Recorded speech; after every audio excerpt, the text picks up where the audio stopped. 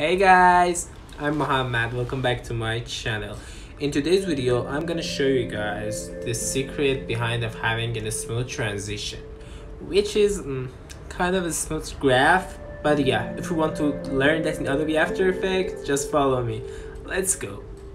Okay, so we have a cube here and I want to show you guys how to have a smooth transition with this cube, okay?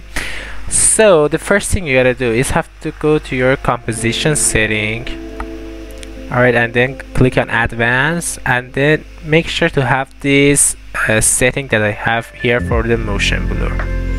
Alright and then make sure to turn on motion blur. Okay and then turn it on here too.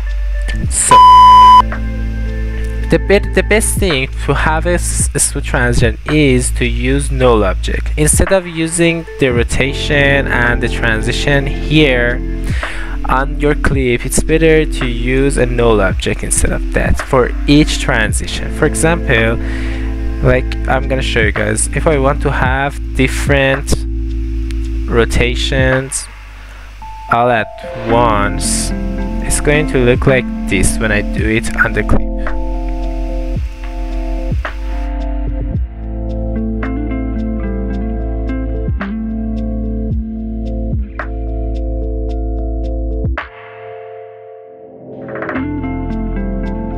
it's not as smooth.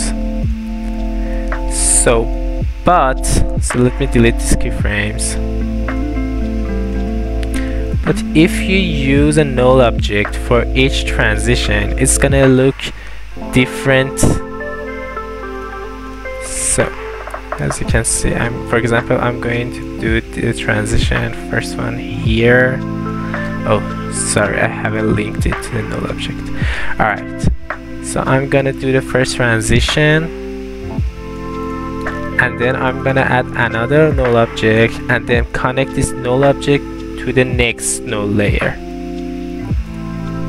Alright and now I'm gonna do this transition here.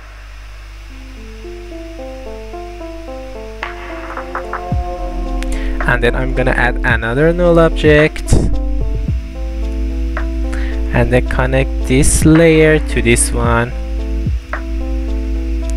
and then I'm gonna have another Y rotation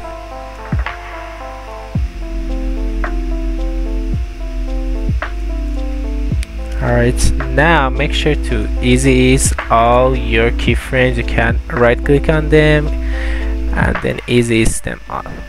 So, the next thing you need to know is the graphs. So if you want to have a really fast transition, the best thing to use is this. If your graph doesn't look like mine, make sure to change it to a speed graph. Alright, so it's for when you want to have a really fast transition. But if you want something smoother, it's better to use a middle graph like this so I'm gonna use middle graph for all the transitions.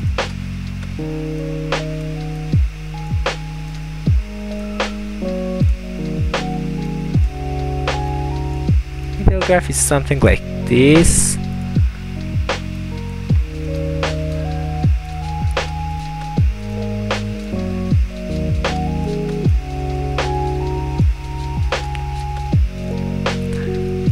Alright, the next thing to do after using a middle graph is to use adjustments.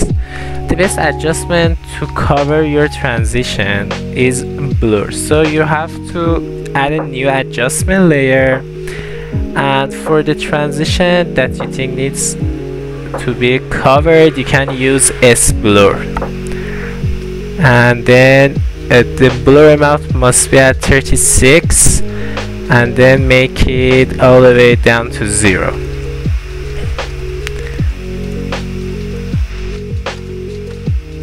Okay I'm gonna use this adjustment layer for every part that I did a transition. Okay this is the result.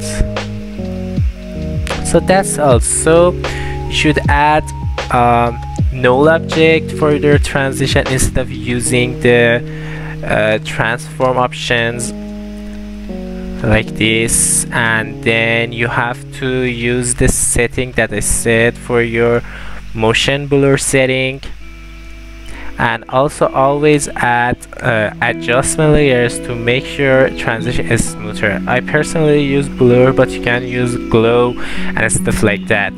Alright hope it helps you guys and yeah don't forget to like and subscribe. See you soon again